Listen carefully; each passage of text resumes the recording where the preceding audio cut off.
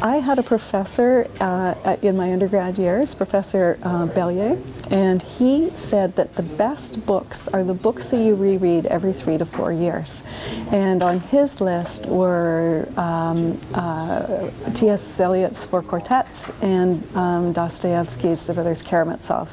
Now, the books that I reread are Anna Karenina by Tolstoy. Um, uh, I reread bits of James Joyce's Ulysses, and um, I read everything by Virginia Woolf.